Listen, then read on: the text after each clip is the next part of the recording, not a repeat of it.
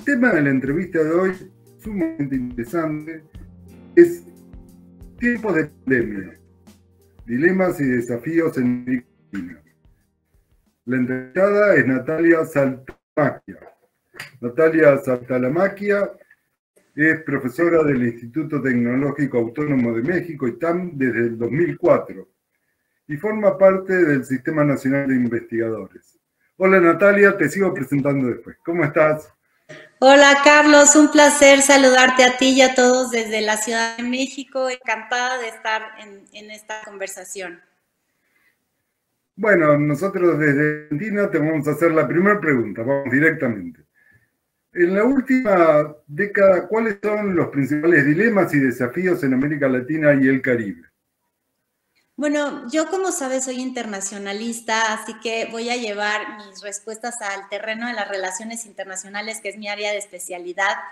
Y bueno, mirando a América Latina en términos agregados entre 2013, 2021, hablando en trazos gruesos, yo quiero destacar dos puntos y desarrollarlos contigo.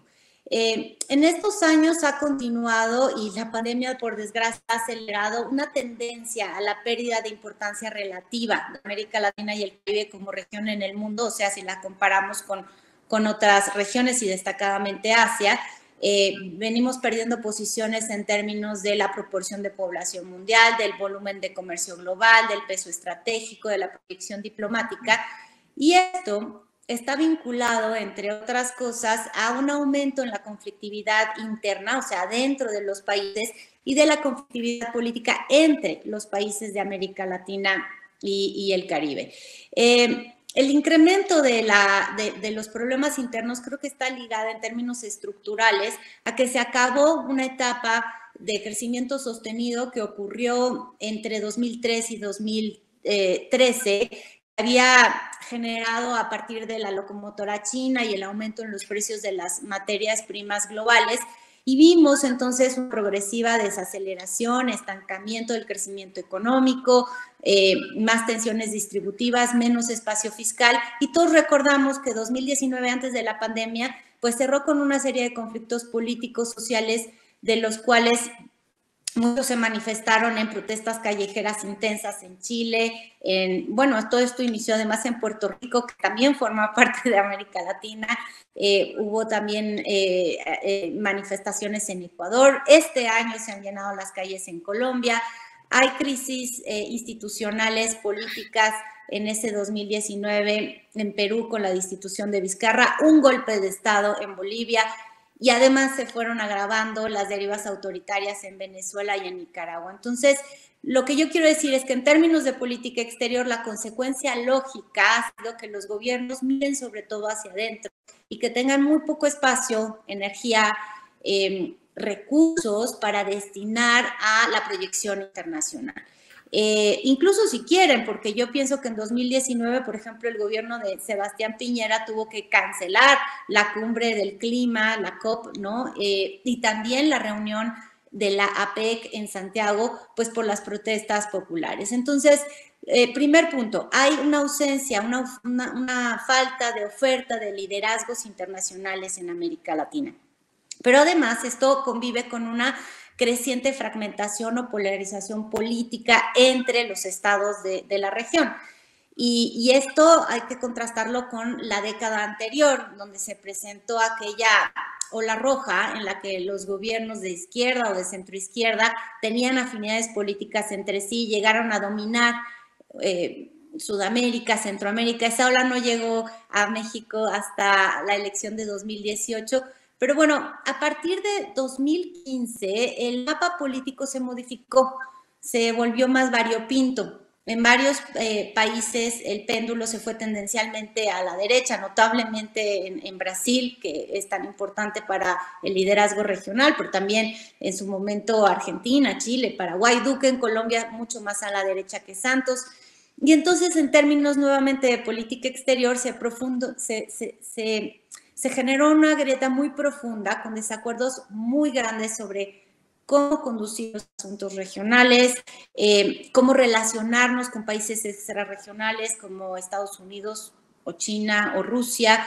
Y esta división se presentó por antonomasia en la posición de cada uno frente a Venezuela y esto terminó por dinamitar los acuerdos y las instituciones regionales que permitían la concertación y el diálogo político. Entonces, ustedes recordarán, desapareció UNASUR a partir de 2018, eh, se debilitó todavía más el Mercosur, del cual Argentina formó parte importantísima, el ALBA se volvió intrascendente, la Alianza del Pacífico hoy en día tiene un bajísimo perfil y la comunidad de estados latinoamericanos y caribeños casi desaparece si no fuera porque México ahora tomó hace dos años la presidencia pro tempore. Entonces, eh, para decirte, tú me preguntas por dilemas, y entonces, ¿cuál es el dilema fundamental desde el punto de vista de relaciones internacionales que yo estoy planteando? Y es el siguiente, es que la región es cada vez más intrascendente en el escenario global, pero por las razones que he mencionado, los países no buscan o no encuentran la manera de actuar en grupo o colectivamente para defender o promover intereses en común. Esto eh, solo acentúa las condiciones para la dependencia o para tener una menor autonomía frente a actores extrarregionales como desde luego Estados Unidos o como China, que es la gran potencia en ascenso. Y el ejemplo concreto que yo te, daría para, para decir que esto tiene consecuencias prácticas es el año pasado los desacuerdos intrarregionales eh, llevaron a que por primera vez desde su creación y contra la tradición, el gobierno de Trump impusiera a un estadounidense como presidente del Banco Interamericano de Desarrollo, una posición que históricamente había sido para eh, algún, eh, algún nacional latinoamericano. México y Argentina, Chile intentaron detenerlo, pero no tuvieron el consenso del resto. Y esto es lo que provoca la desunión precisamente. La, imposibilidad de tener capacidad de gestión autónoma de asuntos regionales. Bueno, Natalia entre 2015 y 2018 se desempeñó como directora general del Instituto Matías Romero de la Secretaría de Relaciones Exteriores de México y fue una de las vicepresidentas de la Asociación Mexicana de Estudios Internacionales. Quisiera resaltar también que, entre otros, es autora y editora del libro México y el multilateralismo del siglo XXI, que lo realizó junto con Olga Pellicer y Guadalupe González. También coordinó con Ana Covarrubias los derechos humanos en la política exterior, en casos latinoamericanos, entre los libros que ha publicado. También ha colaborado con artículos para revistas académicas y capítulos en libros sobre temas relacionados con derechos humanos en la política internacional, regionalismo y multilateralismo. Bueno, también ha publicado en distintos lugares de opinión, en periódicos y revistas de divulgación. Vamos por la segunda pregunta, Natalia. En el contexto de la pandemia COVID-19, ¿hay consecuencias en las relaciones entre los países de América Latina y el Caribe? Bueno, eh, justamente ahora que citas el tipo de, publicaciones por las que ando, eh, nuevamente mi enfoque tiene que ver con qué tanto pudimos actuar colectivamente, ¿no? Y de manera multilateral. Em, yo creo que eh, en términos de, de relaciones internacionales, la pandemia, que fue una crisis de origen exógeno, hay que decirlo, demostró al menos dos cosas. Una es precisamente la gran vulnerabilidad que produce la desintegración y el debilitamiento de la, institución regional, de la institucionalidad regional que yo estaba eh, invocando en mi respuesta anterior. Eh, en términos comparativos, y esto es dramático, la pandemia golpeó a nuestra región, América Latina y el Caribe, de manera mucho más contundente que a otras regiones del mundo.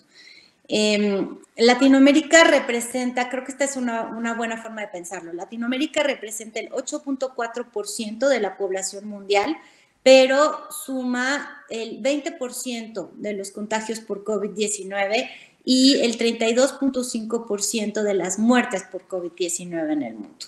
Además, si pensamos en la vacunación, ha sido lenta, ha sido desigual. Hay países como Haití o como Honduras que a la fecha no han podido vacunar ni siquiera al 1% de su población.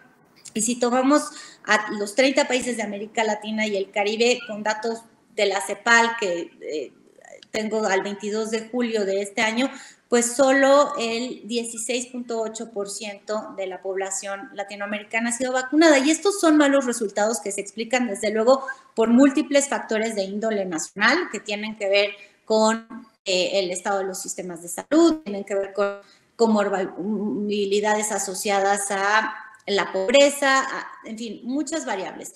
Pero también es cierto que desde el punto de vista de la política internacional no hubo durante el primer año de la pandemia y con trabajo se ha ido desarrollando algo a la fecha, una respuesta regional coordinada a nivel de toda América Latina y el Caribe. No se proyectó una voz regional ante la emergencia sanitaria y esto aumentó todavía más los costos. La pandemia mostró que en temas cruciales este, como, como una crisis sanitaria, se produce una dinámica norte-sur en la cual los países de renta más alta acaparan y concentran las vacunas y muchos de ellos de hecho han resistido la posibilidad de que las vacunas o los tratamientos eh, se consideren bienes públicos globales, es decir, liberación de patentes.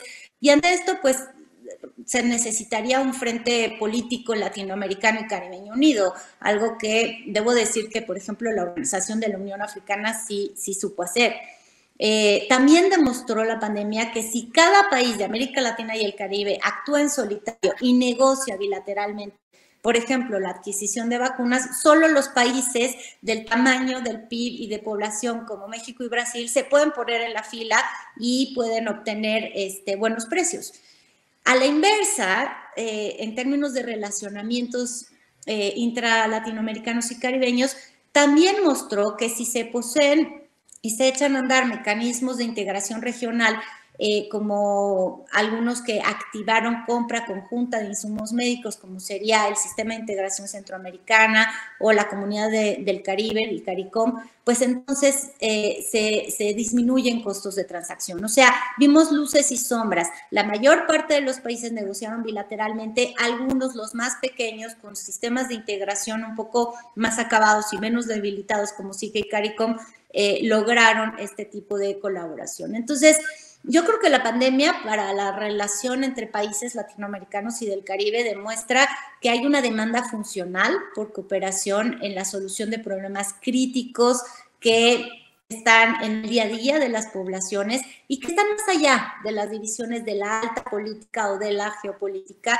y que por lo tanto es crucial reactivar este tipo de cooperación más allá de si hay diferencias, por ejemplo, con respecto al tema de Venezuela, por ejemplo, con respecto al tema de Nicaragua. Y esta es una lógica y que la presidencia pro tempore de México en la Comunidad de Estados Latinoamericanos y Caribeños, la CELAC, eh, eh, es la lógica que, México adoptó. Más o menos el mensaje sería, si este mundo nos encuentra totalmente fragmentados, nos va a ir peor. Eh, y entonces se han trabajado a partir de el último año algunas iniciativas concretas que han permitido volver a sumar fuerzas a nivel América Latina y el Caribe. Por ejemplo, se le encargó a la CEPAL y se presentó ya y empieza a andar eh, algo que es interesante para nuestros tiempos, el Plan Integral de Autosuficiencia Sanitaria para fortalecer las capacidades productivas y de distribución de vacunas y medicamentos en los países de CELAC. Y esto es, interesante porque no sé si ustedes eh, se han dado cuenta que ahora cada seis, siete años se presenta una nueva pandemia, ¿no? Eh, empezamos con el SARS en 2002, en México tenemos muy presente la H1N1 que inició en 2009, en 2014 el ébola, ahora tenemos em, eh, COVID-19. Entonces, creo que lo que podemos observar que nos deja la pandemia es, digamos, una demostración de que esta fragmentación eh, generó, eh, multiplicó los costos para la región y que en la medida en la cual hemos podido avanzar en algunos proyectos específicos, los costos de transacción han disminuido y creo que eso es eh, uno de los principales legados que, con los cuales podemos contar para, para pensar en las relaciones de América Latina y el Caribe en el contexto de la pandemia de COVID-19, Carlos. Muchas gracias, eh, Natalia. Una última pregunta. ¿Cómo ves en el futuro los escenarios de las relaciones internas de América Latina y el Caribe, internas y con el exterior? Bueno, siempre eh, las predicciones son difíciles. Yo empecé diciendo cuáles eran factores que hacían complicado que un país latinoamericano cualquiera eh, pudiera plantear una política exterior demasiado potente. Y por lo tanto ofrecer una cierta capacidad de liderazgo para generar mayor cohesión dentro de la región. Y desgraciadamente la pandemia no ha hecho más que agravar esos factores. Los datos que nos entregan las eh, instituciones internacionales como CEPAL, pero también el Banco Mundial respecto a el número de la población en situación de pobreza e indigencia, su aumento es dramático, el aumento, por supuesto, de la deuda pública, de tal manera que ese factor ha hecho más difícil la ruta. Yo diría, incluso si Lula, ¿no? Eh, que fue el dirigente eh, por antonomasia en términos de proyectar un Brasil que quería generar integración sudamericana, Incluso si él volviese a la presidencia de Brasil, no podría hacer hoy en día una política exterior de potencia regional como lo hizo a principios del siglo XXI. Entonces, yo no veo que se pueda revivir el entusiasmo por las asociaciones regionales, la gran retórica de la integración, mediante, no sé, iniciativas como constituir organizaciones internacionales con tratados, con sede, con, este, con funcionarios. Pero sí veo en la parte, eh, digamos, de luces, porque creo que algunas hay que buscar, eh, que hubo un aprendizaje por el cual eh, los diferentes países pueden formar grupos para trabajar en conjunto en temas concretos, funcionales, grupos selectivos en geometría variable dentro de la región, basándose en la compatibilidad de ciertos intereses compartidos. Y pienso en cosas que son de índole técnico, Pienso en la creación de consorcios para el desarrollo y la producción de vacunas de diverso tipo. Pienso en cuestiones muy concretas sobre la prevención de desastres naturales ante el cambio climático o en la colaboración en la recientemente lanzada Agencia Latinoamericana Caribeña eh, del Espacio. Quizá quiero transmitir es que eh, difícilmente vamos a poder ver un relacionamiento em, fluido al nivel de la alta política, pero sí creo que existe y que hemos eh, entrado en la ruta de colaboración entre funcionarios técnicos, burocracias, los gobiernos subnacionales. Y creo, para finalizar este comentario, que, em, que este tipo de lógica asociativa funcional eh, trabajaría muy bien también en términos del relacionamiento con Estados Unidos y China.